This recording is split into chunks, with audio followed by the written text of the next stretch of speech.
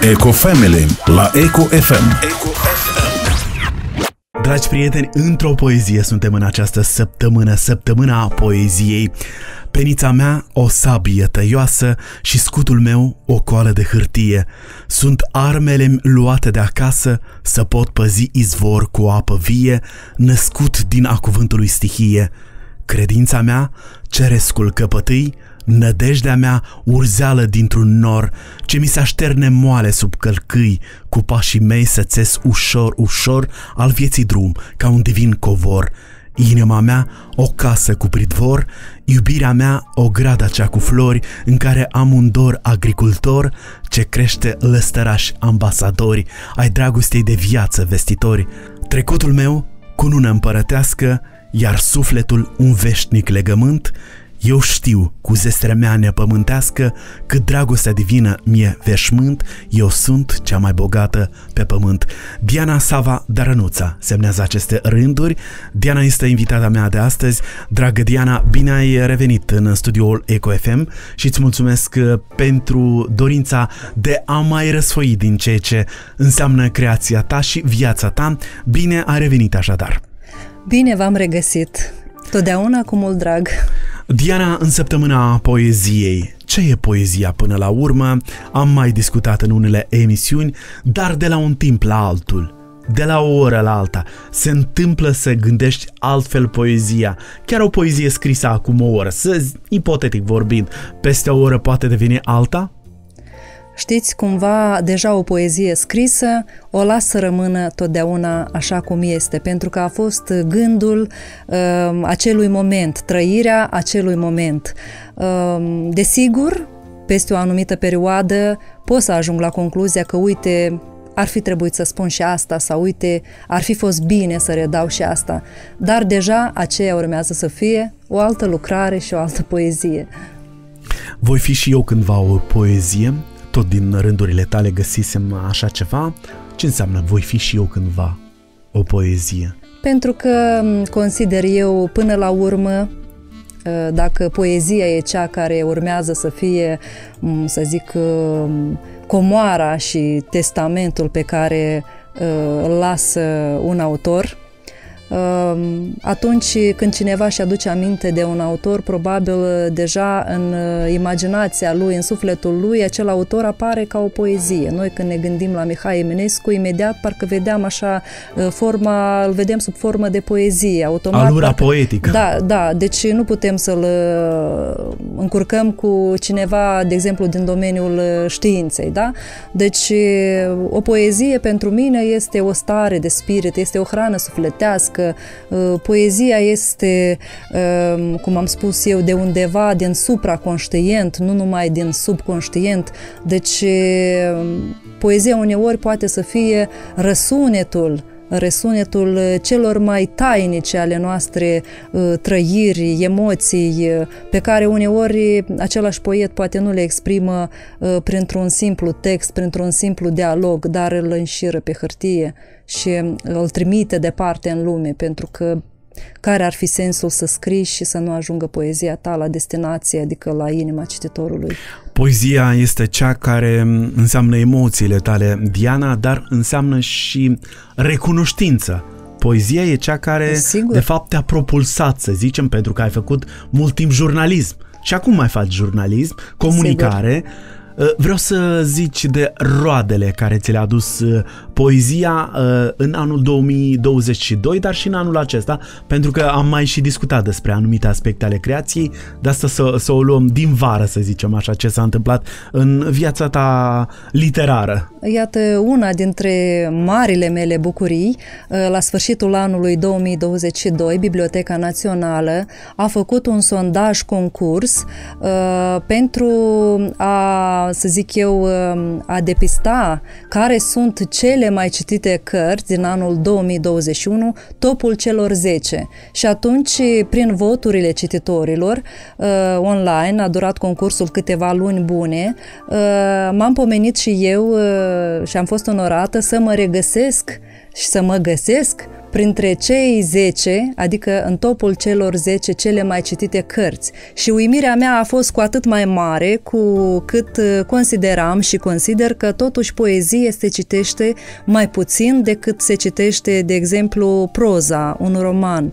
Uh, și atunci, ca și cum eu mi-am uh, dat răspuns mie însă că totuși poezia se citește și m-a motivat acest lucru foarte mult, pentru că mai era acolo printre noi, în topul celor 10, o singură autoare de poezii, o domnișoară care a debutat, iar restul cărților erau de proză. Și atunci, cu atât mai mare a fost o bucurie pentru mine. De și ce carte e vorba, apropo? Cartea Apocalipsa din Noi, care a fost editată în 2021. Despre care am și discutat la întâlnirea Desigur, anterioară. și vreau să vă zic că în concurs a fost și Cartea de Fabule, care iarăși a fost editată în 2021, dar deoarece nu se admitea ca un autor să ocupe două locuri, pentru că mi s-a spus Cartea de Fabule era doar la câteva voturi distanță. Și atunci cea care a luat locul, să zicem, cel mai bun a fost Apocalipsa din noi, din noi pentru că era doar cu câteva voturi înainte. Da, și... cum crezi, Diana, veni vorba de cele două? Ambele sunt cărți, cărțile tale, și Apocalipsa și fabulele. De ce mai mult, uite, Apocalipsa a prins la public? Nu știu, probabil uh, poezia mea totuși a ajuns la inima cititorului.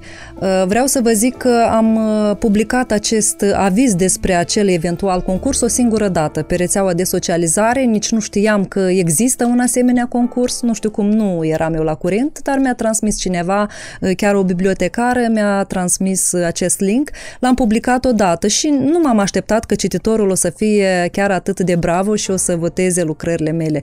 Și până la urmă am înțeles că s-a făcut în afară de acesta, eu chiar am cărțulia aceea editată de Biblioteca Națională, s-a făcut încă un sondaj care sunt cei mai preferați autori din Republica Moldova. Credeți-mă, sunt pe locul 4.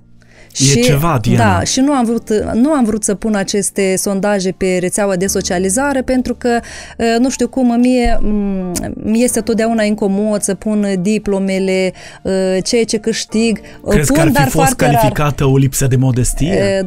Probabil. Mi se pare că faptul că cititorul a votat și că poezia mea totuși a ajuns și unele biblioteci deja este destul, poate nu atât cum mi-am dorit eu, dar suficient pentru etapa aceasta, suficient pentru ca să mă motiveze să scriu mai mult, pentru că dacă am obține totul în viața asta dintr-o dată, ne-am pierde motivația. Am pune punct. Da, și m-am bucurat că cititorul meu nu a rămas pasiv, pentru că nu era așa de simplu de votat, trebuia să te loghezi de pe poștă, nu puteai să votezi de două ori, deci absolut sigur și mi-au spus și doamnele de la bibliotecă și în, în, cu această ocazie chiar țin să le mulțumesc.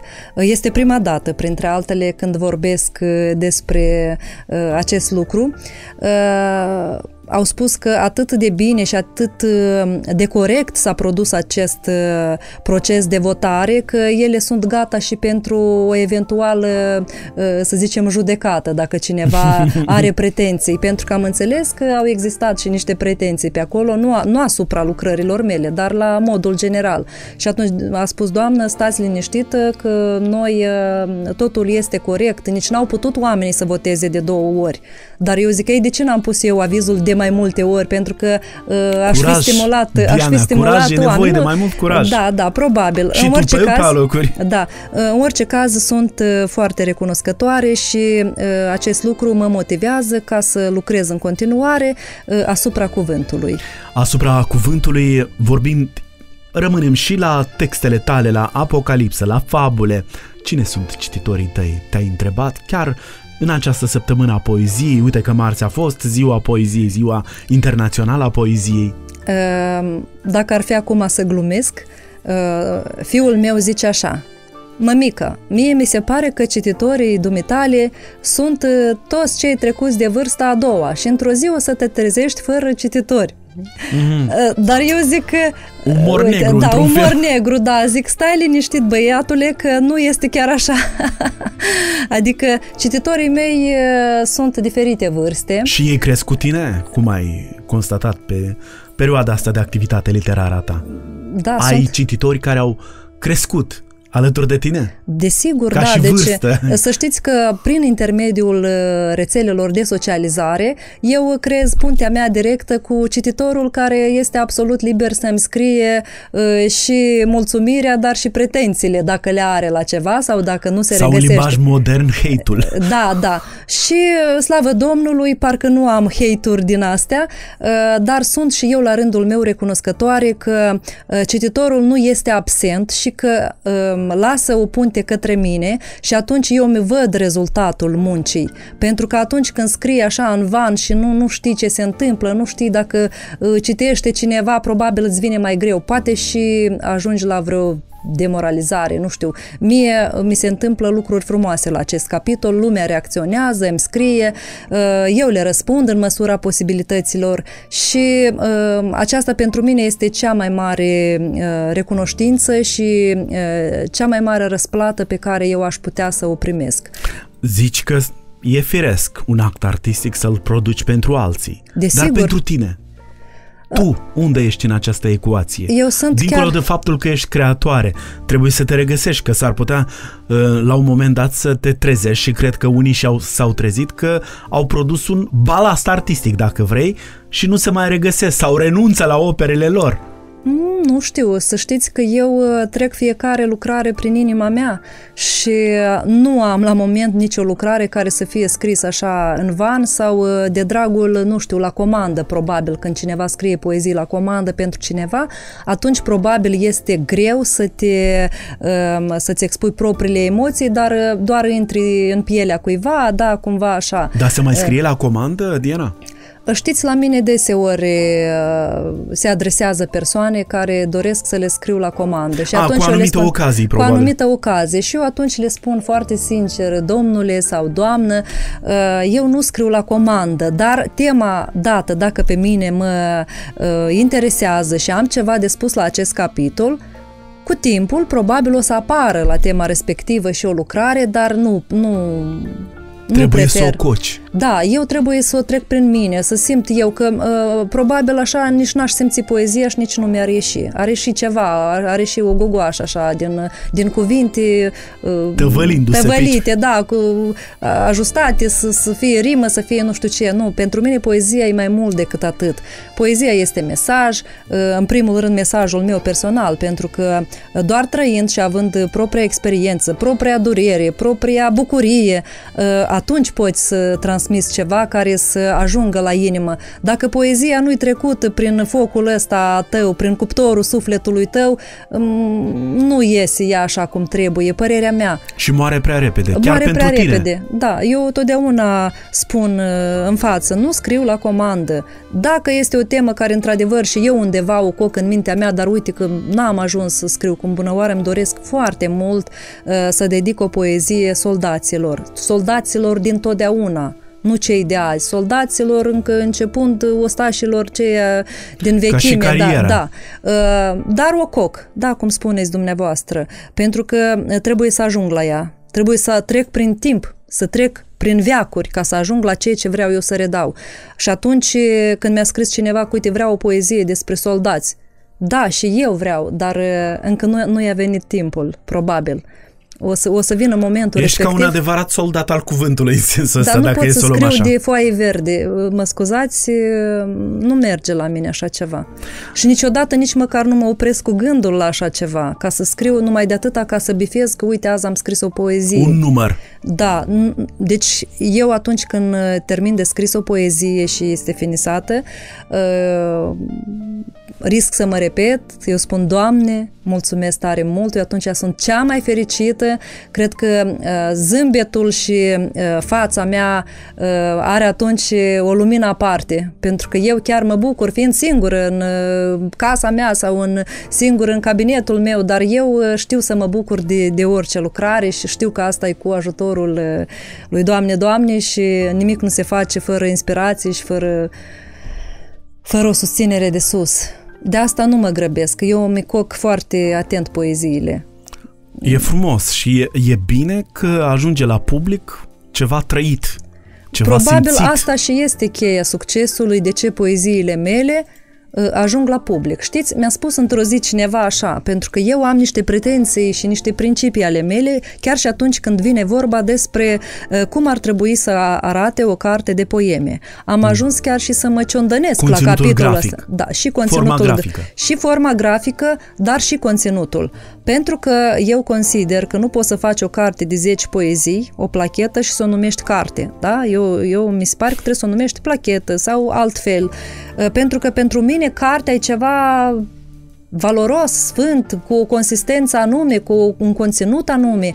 Uh, Eu mi-am pus uh, așa niște restricții față de mine însămi, peste care nu pot trece. Deci la mine cartea trebuie să conțină minimum 101 poeme. Deci iată și acum e și normal am în lucru o viitoare carte, dar nu am ajuns la 101 poeme noi care eu le-aș selecta pentru următoarea carte. Am, sunt vreo 70, Dar mai acea nouțe. carte, Diana, ar putea să aștepte mult.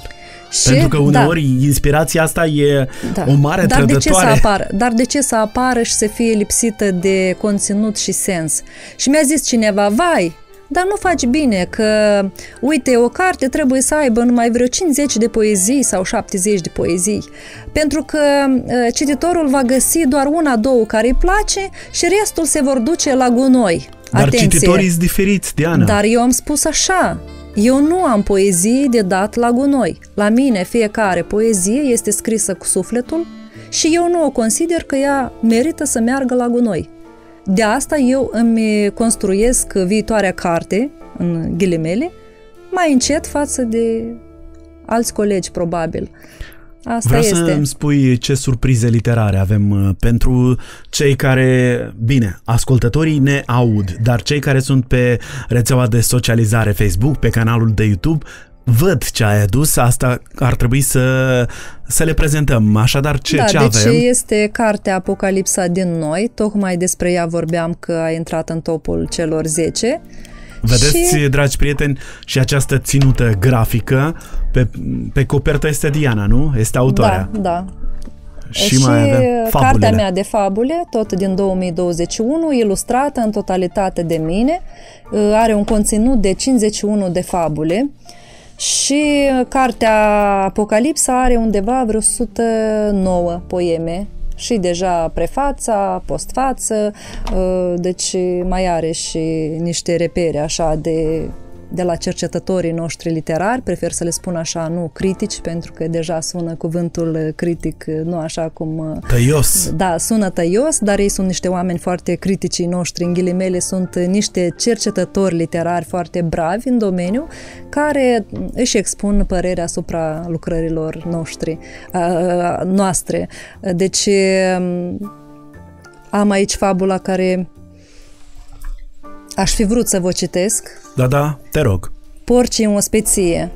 Și vreau să vă zic că în această carte găsiți toate animalele din viața mea, toate dobitoacele. Din viețile noastre. Da, și din viața mea uh, Fiecare are exclusiv, câte un porc, câte o vacă, și, uh, pe câte un această șobolan. Cale, pe această cale le mulțumesc tare mult că ce m-aș fi făcut fără voi, dragii mei, care uneori mi-ați adus tristețe și durere sufletească, dar eu am transformat această durere în niște fabule care să le fie de învățătură și adulților și copiilor. Da, te rog. Porcii în ospeție Un purcel cu râtul mare, gros la trup ca un cârnaț, se porni în lumea mare cu purcica lui la braț. Își făcură socoteală pe la cine o să treacă și chitiră cam pe unde ar fi bine să petreacă. Azi, la unul în ospeție, mâine la o altă casă, profitau din plin purceii și se așezau la masă. Nu aveau vreun pic de jenă în obrazul lor porcesc. Ocupați cu clefăiala, n-aveau timp de mulțumesc.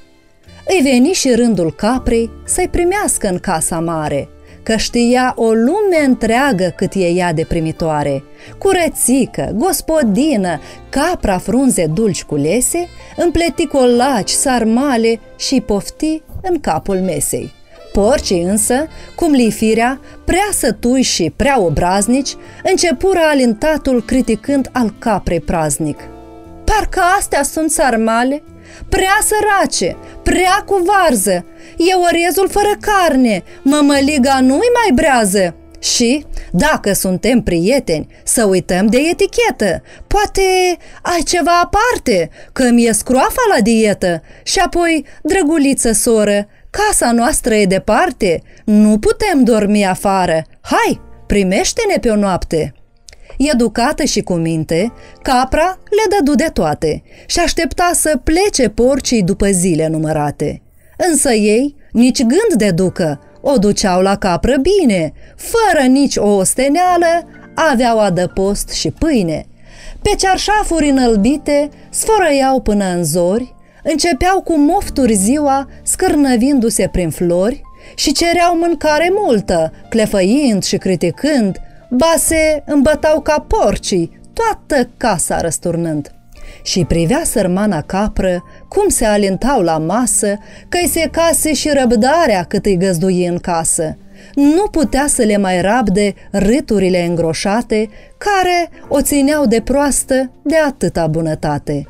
Și într-o zi, cam încruntată, le deschise iute poarta și le zise, Ia ca drumul, dacă vreți, vă dau și harta. Vai de noi!" se indignară porcii unul câte unul. Cum? Ne dai așa afară? Cum rămâne cu dejunul? Poate măcar niște dulciuri, vreo plăcintă la plecare, vreo pălincă, vin la sticlă, ne așteaptă drumul mare. Însă capra le răspunse, eu încep numărătoarea. Vedeți coarnele? Îndată, am să vă grăbesc plecarea. Uite așa plecară porcii, ducând sfoară în lumea mare, că e rea și prea zgârcită capra și neprimitoare. Morala voi, care așteptați, în fine, de la porci vreo mulțumire, veți avea doar zile fripte, iar în rest, dezamăgire. Și mai este în covorăbă, din vechime, dacă o știți. Nu mai dați porcilor perle, că rămâneți voi prostiți și da. respectiv ilustrația porcii în ospeție. Mm, dacă s-au regăsit unii, e problema lor. Ar fi bine să se regăsească. Da, greu Avem ajunge... o altă problemă că... E greu, aj- cam greu ajunge Diana la unii Cum porci. a zis cineva, ca să, E pielea ca groasă. să te doară conștiința trebuie să o ai sau ca să te mustre conștiința trebuie să o ai. Și reiese că uneori conștiința îi mustră tot pe cei care, pe cei care o au, da? Mm-hmm. Adică s-ar primi Că așa cei care lumea- nu au să întreabă ce e asta. Da, da, un joc de cuvinte, dar are cam multișor adevăr. Diana, am, eu am dat peste o altă fabulă. Hai să Așa. mergem în tandem. E o fabulă uh, Musca nemulțumită, pentru că dacă urmărim tabloul și dacă analizăm chiar și felul de a, de a fi a oamenilor noștri, mereu nemulțumiți, Da. mereu ceva nu le ajunge, chiar dacă, uh, slavă Domnului, au și pe masă, au și în casă, uh, pleacă și peste hotare, au ce mânca, au unde dormi, vorba vine, mereu nemulțumiți. Doamne, nu-i dreptate în lume, zise musca supărată, aș fi vrut să fiu albină, să strâng miere ziua toată. De-aș fi fost o albinuță, mă simțeam mai, mai fericită. Și a zis Domnul din ceruri, fii albină, muscă, mică. Și atunci, ca prin minune, musca se făcu albină. Se trezi într-o prisacă cu gălețele în mână. Hai la treabă, surioară, ce noroc de zi senină, albinuțele o îndemnară și zburară din stupină. Încerca albina noastră să se țină după ele, fericită, bucuroasă, se porni să strângă miere. Își umplu găleți voioasă și cu greu la stuple duse, tot visând că după asta pui de somn va trage dulce. Dar de unde? Că de îndată iar primi găleți în mână, hai pe câmp, blajin îi zise o albină mai bătrână. Păi, dar nu-i de ajuns nectarul cel pe care l-am adus? Ha, ha, ha, zâmbi albina, noi muncim până n-a pus. Ai uitat care e destinul albinuței lucrătoare din nectar să facă miere toată viața până moare? Și atunci musca înțelese prea târziu ce-și dorise, căci dorința ei cea mare, Dumnezeu i-o împlinise. Și acum, de dimineață până în seara o sântită, se spetea visând să fie iarăși muscă fericită. Când zbura în locuri multe și dormea pe un vârf de pai și părea acum muștei viața cea de ieri un rai. Morala. Jeluindu-se de soartă, tot gândind unde e mai bine, își doresc adesea unii să trăiască vieți străine. Ce sentință se arată veșnica nemulțumire și așa le trece viața, tot într-o dezamăgire. Ceea ce ziceam, tot mai multă lume nemulțumită și tot mai multă lume uh, oamenii cărora li se pare că viața poeților inclusiv este una ușoară. Ce fac ei poeții? Mă întreba unul dintre vecini ce fac ei jurnaliștii, ce fac ei poeții. Iată ce fac. Încercăm să fim, să ne transformăm și pe și atunci știți? vom vedea. Uh, probabil mulți dintre cititori nu știu că uh, majoritatea autorilor nu trăiesc din cărți, adică noi, ca toată lumea care muncește, avem uh, un loc de muncă al nostru, iar poezia, scrisul rămâne așa ca un hobby, da? să zicem, după ce te poți deja a ciua acolo acasă într-un colțișor, când toți dorm sau uh, când ai o pauză la același servici și atunci când lumea stă pe afară, se plimbă sau stă la cafea undeva, autorul încearcă uh, acel timp să-l folosească pentru scris. Cel puțin la mine este așa. Eu sunt uh, o angajată, lucrez undeva de dimineață până seara, până la ora 6 și abia seara, după servici, dacă îmi rămâne ceva timp dacă sunt norocoasă, poate îmi fac o oră, două la servici și de obicei nici măcar nu ies la ora mesei, dar îmi folosesc acea ora a mesei pentru scris. Diana, dacă veni vorba de ora mesei, lecția de poezie a miezii, dacă mi-amintesc corect, era genericul unui eveniment care a fost săptămâna trecută și ai fost da. Uh, și tu parte a acestui eveniment. Descrie ce a fost, cum s-a gustat și la acel eveniment poezie. Am înțeles că uh, e și pe gen de masterclass pe alocuri. Uh, deci, uh, lecția de poezie este uh, o lecție, mm, de fapt a fost a, a 600-a lecție de poezie, organizată de către Societatea Culturală Apolon din România, care recent a fost oaspetele nostru. Și eu am participat acolo la concursul Grigore Vieru, Uh, sunt iarbă, mai simplu nu pot fi, este un concurs uh, festival internațional de poezie. Și Ediția eu am 11 fost, Da, și eu am luat uh, locul 2. Uh-huh. Mhm. Ca să înțelegeți, au fost în concurs aproape 400 de autori. Poeme dedicate lui Vieru.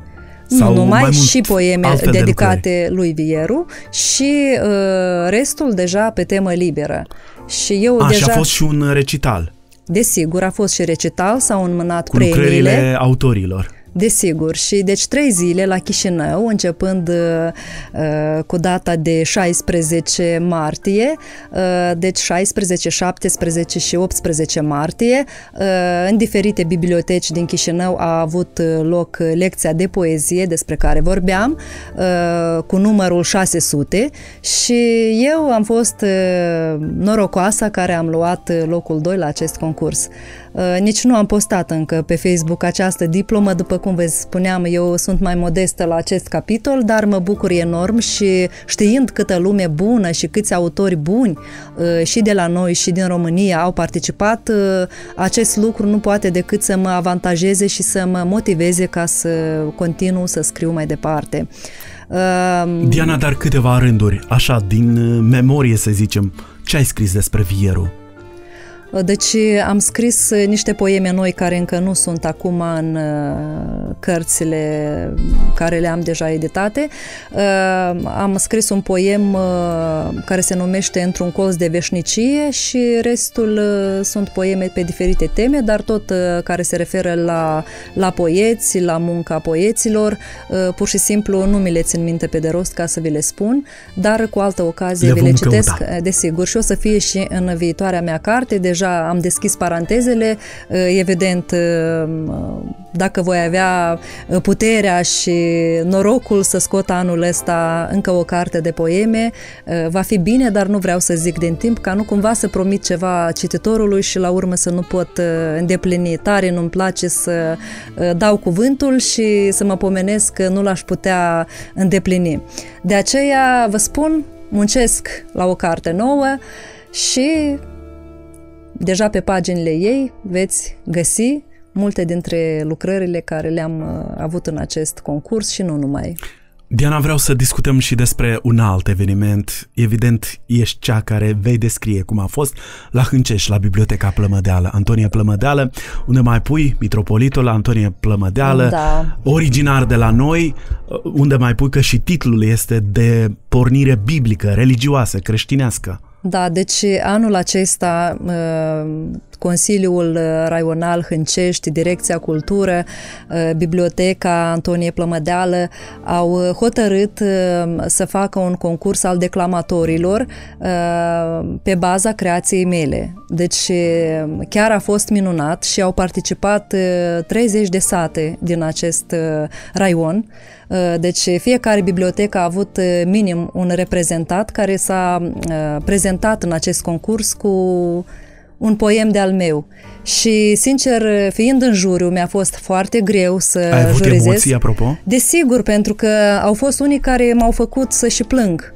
Uh, am eu niște lucrări în uh, creația mea care, după cum vă spuneam, că eu nu scriu așa pur și simplu de dragul scrisului, dar uh, vorbesc despre niște situații, despre niște trăiri ale mele și mi-au atins cumva coardele cele sensibile când era vorba despre copilăria mea, despre bunicii mei, uh, au recitat atât de frumos uh, încât mi-au ieșit lacrimi, adică a fost ceva atât de, de minunat. Uh, pentru mine a fost o onoare să-ți vezi lucrările uh, declamate frumos într-un concurs, uh, eu nu știu, pentru un autor este un uh, o bucurie, o bucurie sufletească. Și uh, pe această cale chiar țin să mulțumesc direcției uh, Tineret de la Hâncești, vă mulțumesc tare mult, pentru că uh, totuși noi avem foarte mulți autori buni în țară și faptul că s-au oprit asupra creației mele cumva mă face să fiu mândră pentru lucrările mele și că au ajuns la inima copiilor. Da, Eu... ți-ai pus întrebarea. Da, I-ai știți... întrebat pe ei de ce? Da, știți, eu încă din start zic, dar știți, lucrările mele nu prea sunt pentru copii de clasele primare, chiar și dacă vorbim despre fabule, oricum sunt pentru vârsta deja adolescenților, adulților și zic, mi se pare că nu prea ei o să înțeleagă poezia și zic, ce o să găsească ei să recite? Să știți că au găsit poemele patriotice, au găsit poemele legate de dorul de casă, de părinți, de bunei, au găsit și au recitat chiar și poeme de dragoste, mi-a plăcut foarte mult. Deja adolescentele, domnișoarele, foarte bine s-au prezentat la această temă. Și știți ce m-a impresionat cel mai mult? Faptul că noi, fiecare, prin prezența sa, iată, vorbind de mine, deja știți că mai peste tot mă prezint în costumul național sau măcar în ceva stilizat, etno. Cumva copiii, când au venit la acest concurs, pentru că era și punctul ținuta scenică, da?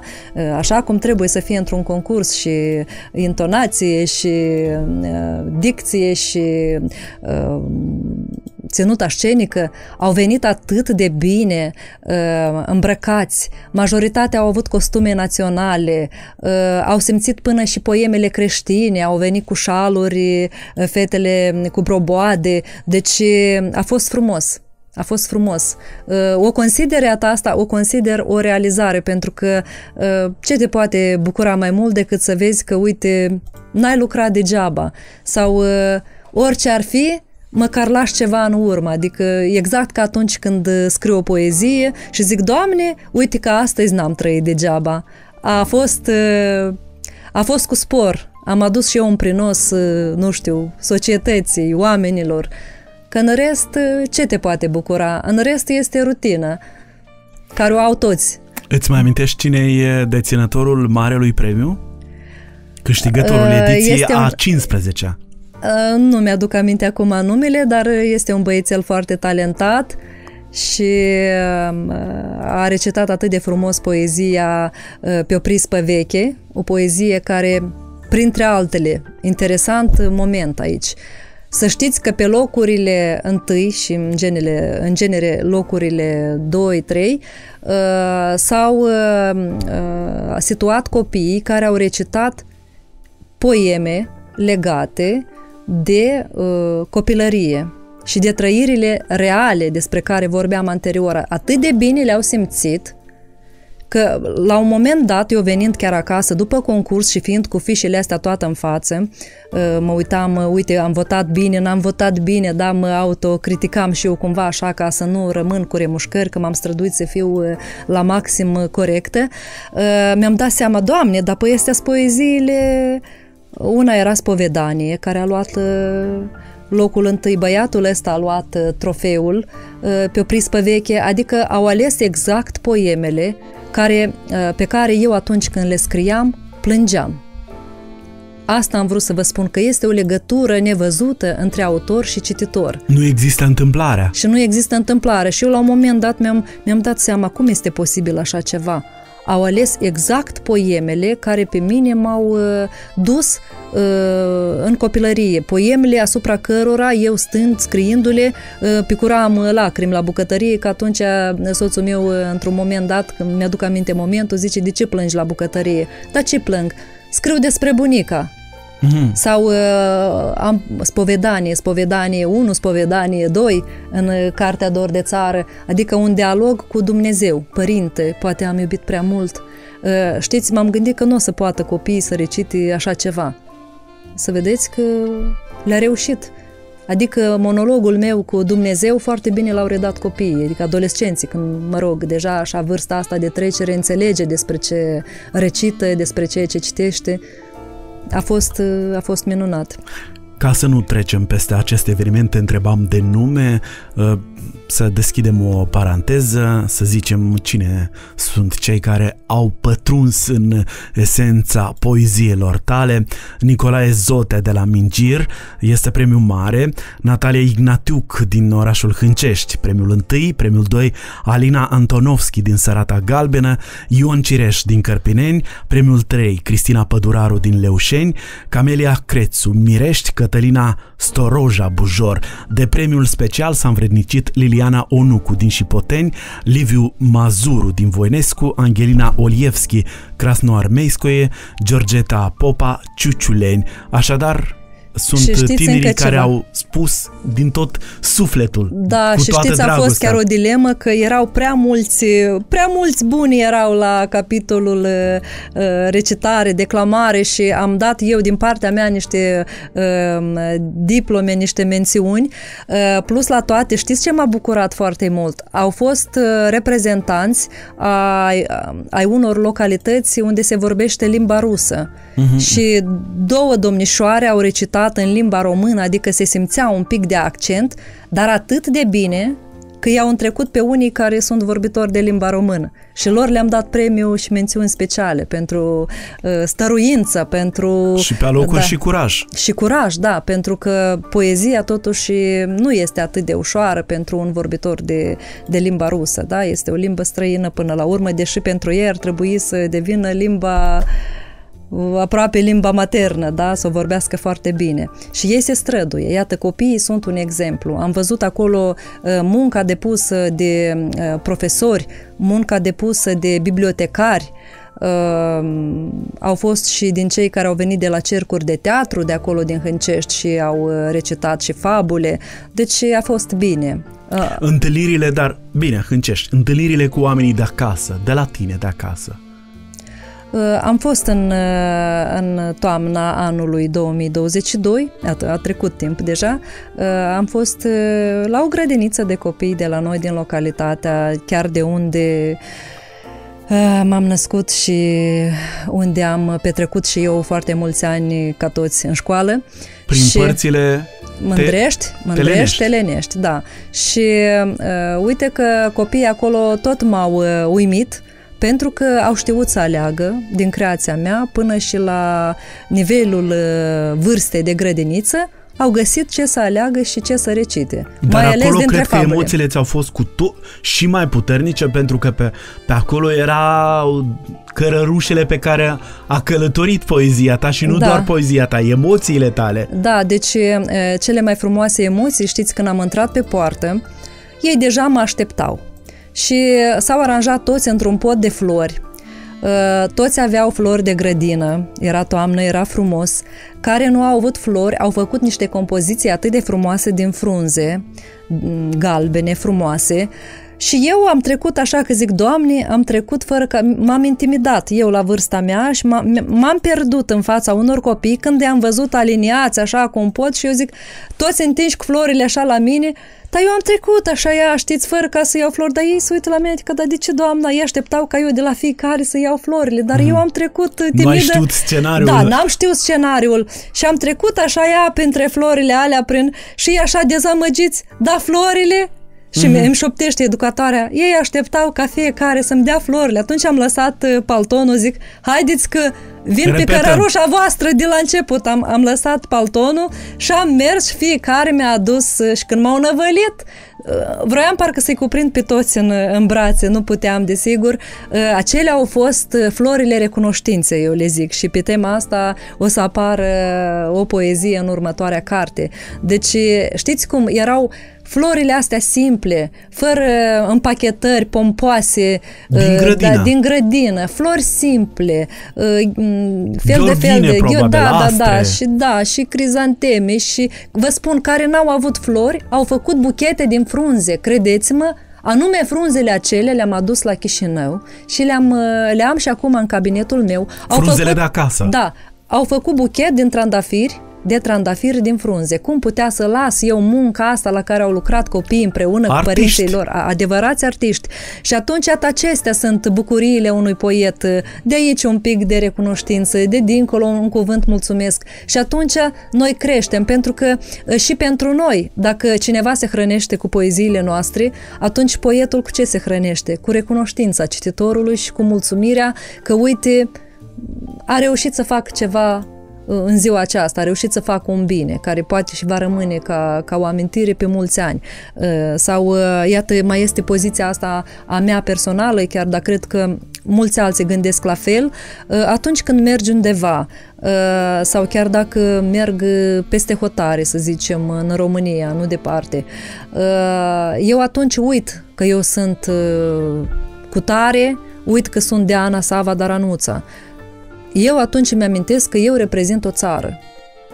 Și poziția mea și comportamentul meu și atitudinea mea acolo trebuie să fie la cel mai înalt nivel. Adică nici nu trebuie să joc un teatru sau să fac ceva, dar adică eu uit de mine. Sunt momente în care eu sunt pur și simplu poetă.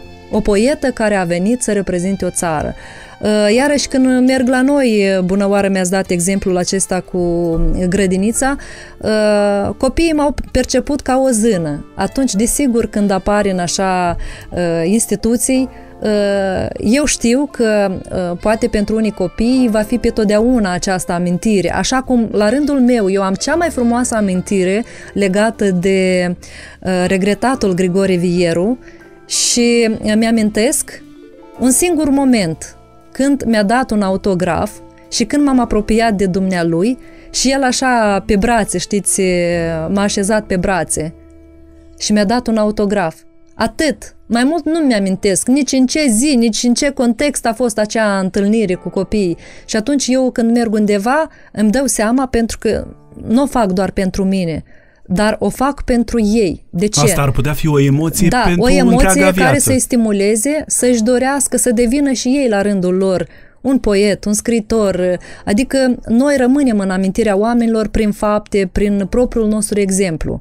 Adică putem noi să spunem multe, dar dacă exemplu și fapta nu este sau nu este cea care trebuie să fie, Degeaba. Degeaba, degeaba, chiar degeaba. Și atunci eu sunt recunoscătoare că uh, Dumnezeu a pus în mine această sămânță, această dorință de a scrie, pentru că uh, știți cum fiecare om are un talent al său în ceva. Eu cred că nu există om în care să nu fie uh, sămânța aceea dumnezeiască, divină, în care Dumnezeu a pus o nădejde în tine, o speranță că tu poate te vei găsi și vei face acel ceva ca să contribui la planul ăsta comun, divin. Și uh, ce am face dacă toți ar fi poeți?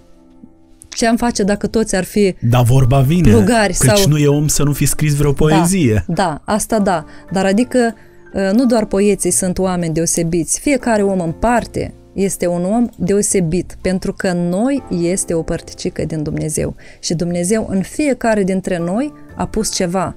Cineva poate are misiunea doar atunci când eu trec tristă pe drum să-mi spună că uite, Dumnezeu te iubește sau, sau, sau să-mi spună un alt lucru frumos.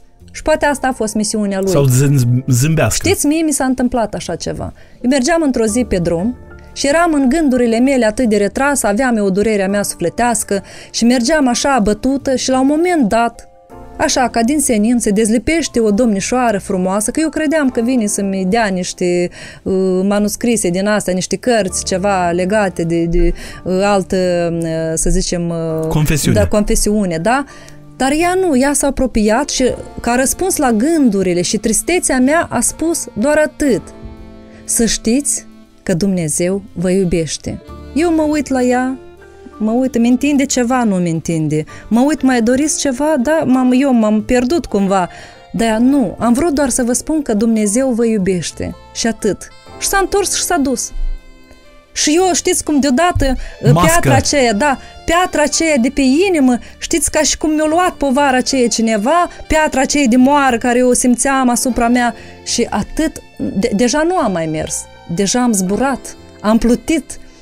De asta și vorbesc că noi nici nu conștientizăm că noi mergând și zâmbim cu, zâmbind cuiva pe drum sau spunându-i un simplu compliment, chiar, da? Așa, din senin, pentru că ai văzut o doamnă frumoasă sau ai văzut un copil deosebit să-i spui ceva frumos.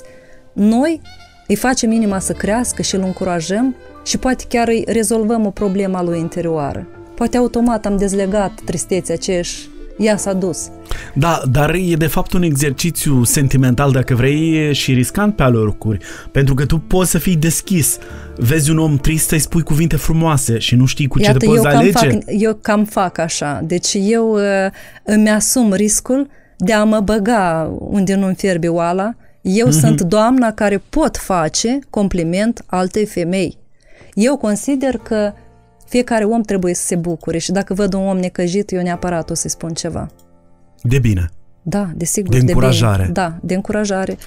Să vă spun ce am pățit de unăzi. Uh, rog. Se spune că despre milostenie nu trebuie de spus și nici nu o fac cu scopul acesta, dar văd deseori o persoană tânără, dar bătută de soartă, să zic așa, uh, exact pe traseul care îl fac eu în fiecare dimineață, merg uh, ceva uh, kilometri pe jos până la servici uh, vreau câteva opriri bune, să zicem așa, și uh, tot încercam să, să-l ajut uh, cu câțiva lei, cu ceva, uneori chiar îi cumpăram uh, mâncarea și la un moment dat, uh, într-o zi când m-am apropiat, fiindcă eu mă gândeam, aveam niște probleme, mă gândeam, eu nu știu ce, că am de rezolvat și l-am văzut stând cu mâna întinsă și par, părea că a adormit pe banca pe care stătea și avea niște lei de unul acolo și îi ținea așa. Acum eu, când, văzând că zic, poate a adormit persoana, scot uh, ceea ce am vrut eu să-i dau, tot niște lei uh, aveam mărunți din hârtie și zic să-i pun în mână. Și când am pus în mână, am apăsat așa ca să nu ca să nu ia vântul, pentru că era și vânt afară. Și când m-a înhățat persoana asta, boschetare era, m-a înhățat odată de mână, așa de tare m-am speriat. Uh, și eu zic, nu, eu v-am dat niște, v-am dat, nu vă, speria, nu vă speriați, eu v-am pus niște lei, zice, mulțumesc. Și la urmă se uită așa la mine și zice, și ce să fac eu cu banii dumneavoastră? De ce îmi trebuiesc mie banii, dar mi-a spus în limba rusă? Mhm. La ce îmi trebuie mie banii tăi? Și s-a uitat așa la mine, știți? De Eu ce am mers- această reacție? Păi iată, ca și cum mi-a arătat că banii nu contează deloc în viață. Adică că eu am vrut să-i pun să sta cu mâna așa și avea niște lei în mână și îmi părea că a adormit. Și am mai uh, apăsat și eu câțiva lei acolo. Mhm. Și el mi-a zis, la ce îmi trebuie mie banii tăi? Și eu m-am dus tot drumul și m-am gândit, uite cum, el mi arată mie, Dumnezeu prin persoana asta mi arată că totuși, chiar și în starea lui cea mai gravă, el consideră că banii nu au valoare aceea care ne gândim noi, nu au nicio valoare. Da, Când scăpăm uh, inspirându-mă din cele spuse de tine până acum, Diana Savada Rănuță, dar și din titlul lucrării pe care, titlul uh, cărții Apocalipsa din noi. Noi nu putem scăpa atât de ușor de această Nu. apocalipsă din noi. nu putem. De ce? Ce, dacă e să privim în adânc ce înseamnă în genere cuvântul apocalipsă, tot, toți își închipuie un sfârșit oarecare al lumii. Dar sfârșitul pentru noi, pentru fiecare în parte, este momentul în care noi plecăm din lumea aceasta. E, Lucru care este inevitabil pentru și atât fiecare. de mult contează cum. Da, și atât de mult contează, iată, cum am ajuns și în ce stare eram atunci când vom pleca și cu ce bagaj plecăm noi. Și e, cu părere de rău, probabil, pentru noi care o viață întreagă învățăm ceva la acest capitol și mi se pare că tot repetenți suntem, e, toate întrebările, dar și toate răspunsurile sunt tot în noi. Și toate greșelile sunt în noi. Uh, Apocalipsa, uh, hm, cum să vă zic, uh, sunt momente, am și poezii pe tema asta, mulți au murit, dar încă n-au aflat. Adică faptul că ești viu și mergi pe drum, dar nu aduci uh, niciun, deja nu mai, uh, cum să zic eu așa, mai reușit, um, nu mai contezi chiar nici pentru tine însuți, nici Doar pentru umbră societate. pământului Da, ții. ești ca o umbră, ești gol, ești uh, pustiu în interiorul tău. Nu poți dărui iubire, nu poți face un bine, nu ai niciun sentiment, ești de piatră. Uh, Asta e ca un mort viu. Adică, Te rog da. să citești ceva din Apocalipsa din noi și ulterior mai discutăm la tema. Iată, pe aici, pe aproape, poezia banal. Subnutriți spiritual și orfani de bunătate, ne dorim în mod banal să ne meargă bine în toate. Printre pseudo-iubiri, care cer, dar nu pot da, tălmăcim greșit psaltiri pentru a ne complăcea. Și cuvintele încălcind, ca pe ața dintr-un ghem, noi pe alții o sândim cu o travă și blestem.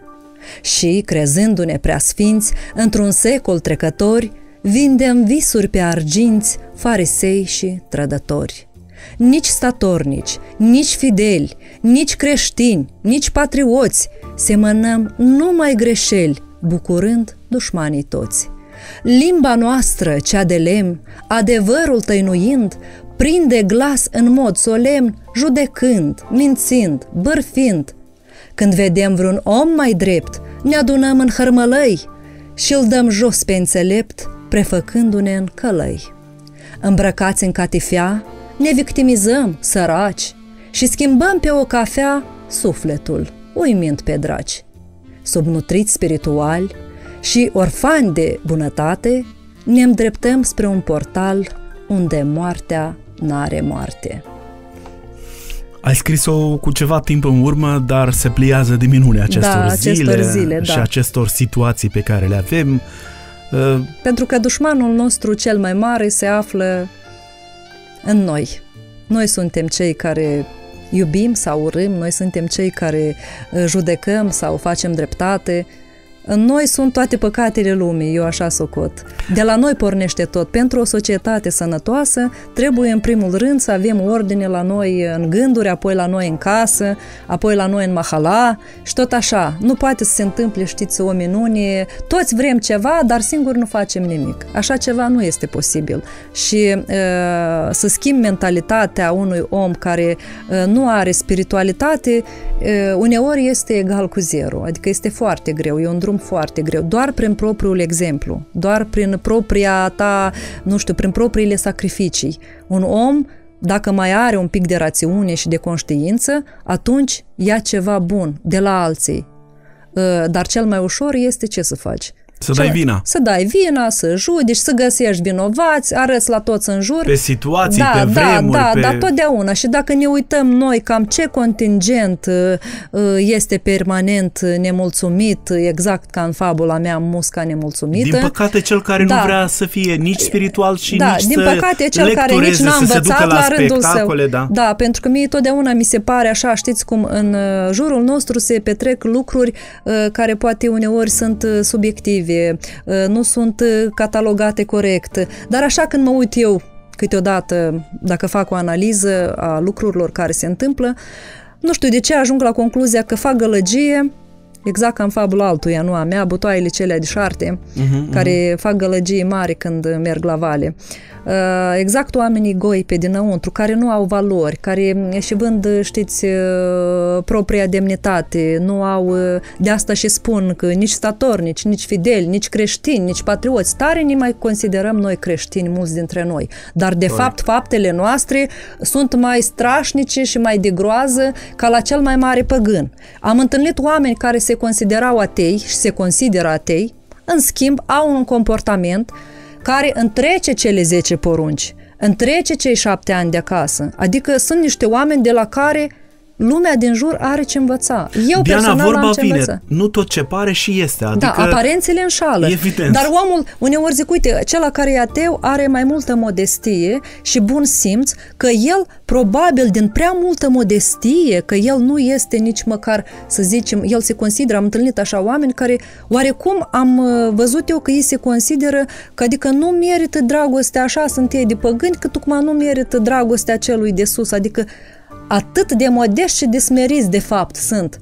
Și invers, avem care strâng în gura mare, vai, dar ce uh, creștin bun sunt eu și numai te-ai întors, ți-a înfipt cuțitul în inimă, numai te-ai întors, Dar, deja de fapt, te-o bărfit. credința e sinonimă cu smerenia. Da, Primul da, act spre da, credință, da, da. spre dragoste de aproape, De asta. înseamnă smerenia. Da, de asta eu și sunt- iertarea. Exact. Și să nu uităm, mai am eu o altă teorie la capitolul iertare. Uh, Mi-am pus deseori această întrebare cu iertarea. Uh, Știți, deseori iertând, a spus cineva, nu sunt cuvintele mele, că iertarea naște monștri. Când naște monștri iertarea? Că sunt de acord cu această părere. Adică trebuie să știi când să ierți. Uh, Să nu și dacă treci ai peste- iertat, să te depărtezi de persoana respectivă, pentru că persoanele, uh, ca, exact ca cei care încurcă bunătatea ta cu naivitatea Cu și, cu, și slăbiciunea. cu slăbiciunea, când de fapt tu, asta este o virtute a ta, să fii bun, să-l înțelegi, să te smerești că el este așa, să-l ierți. Și atunci când tu ierți persoana prea des, eu am ajuns la concluzia că mulți oameni nu-și dau seama că au greșit. Adică văzând că tu ierți de fiecare dată, ei ajung să se urce, știți... uh, Dar se știe că de multe să ori intre în dacă ai suflet iertat încălțați, odată, da. odată și nu ai înțeles lucrul ăsta, ai mers a doua oară, Da. prima dată e problema ta, a doua oară deja, Da, prima că dată e e problema problema lui, lui. a doua oară este problema ta. Da, exact. Și atunci eu zic că trebuie să fie buna măsură în toate. Ai iertat persoana pentru ce a făcut și te-ai dat frumos într-o parte, uh, adică nu este neapărat să ții uh, legătura cu așa persoane dacă ele uh, continuă să nu se corecteze și să-ți aducă daune până la urmă și psihologice și morale, că uh, cât n-ar fi omul de puternic, uh, oricum atunci când îi se întâmplă niște lucruri urâte la adresa lui sau când este trădat, uh, fiecare om este un suflet viu și lucrurile astea lasă cicatrici adânci. Adică cât de mult noi n-am fi iertători, uh, lucrurile astea ne marchează și poate m- mult mai mult decât uh, pare la prima vedere. Uneori noi singuri nu știm cât de tare suntem uh, prinși în plasa asta a durerilor trecute sau a durerilor care ne le provoacă uh, oamenii din jur și noi nu avem ieșire, bună oară, sau cineva ți-e rudă și nu poți să-l dai într-o parte din viața ta, cineva ți-e prieten bun și parcă nu poți, cineva ți-e vecin. Și atunci noi trebuie să fim foarte, foarte uh, uh, și smeriți, dar totodată și să avem o rațiune corectă, să vedem ce se întâmplă de fapt, pentru că dacă nu o să fim atenți, uh, asta duce la distrugerea noastră personală. Și atunci uh, reiese că acești oameni care dăunează Profită. ei și-au atins, și-au atins scopurile și tu ca personalitate, tu ca suflet, tu ca lumină uh, te stingi, suferi. Și eu uh, sunt de acord cu părerea asta. Uite că acest dialog al nostru se încheie cu împăcare, cu iertare, cu răbdare, tocmai în această perioadă a postului mare. Da. Diana Savadaranuță, îți mulțumesc pentru acest dialog, pentru fabule, pentru poezie, pentru gândurile rostite aici la Eco FM.